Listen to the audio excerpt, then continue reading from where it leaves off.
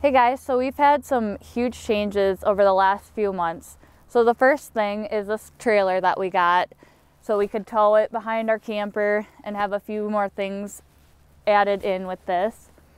So this has been a learning curve since we know nothing about towing trailers or any of that, especially with the camper. The biggest news that we wanted to share with everyone is that we got a Can-Am Maverick X3.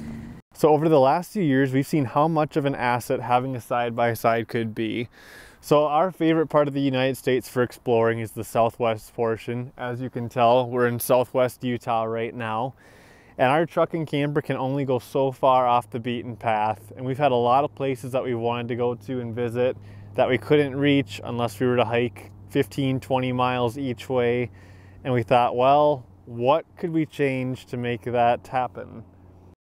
So we decided to get the Can-Am for that fact and also just because we wanted something different to do. So we've been traveling for three years now and you know there's only so many hikes you can do and then it's everything kind of starts looking the same. So we wanted to change things up. So we decided to get this guy and this way we can go out further, we can explore more of an area in a shorter amount of time and just, I don't know, it's an adventure in itself.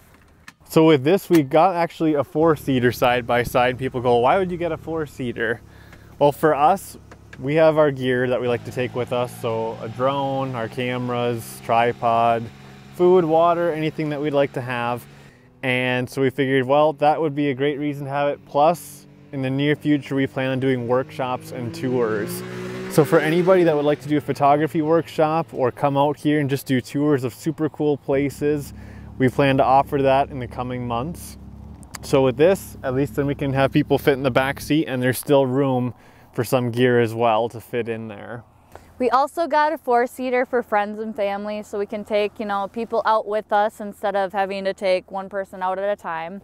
So once we got the side-by-side, -side, we realized that we needed to do a couple more modifications to it just to make it our own.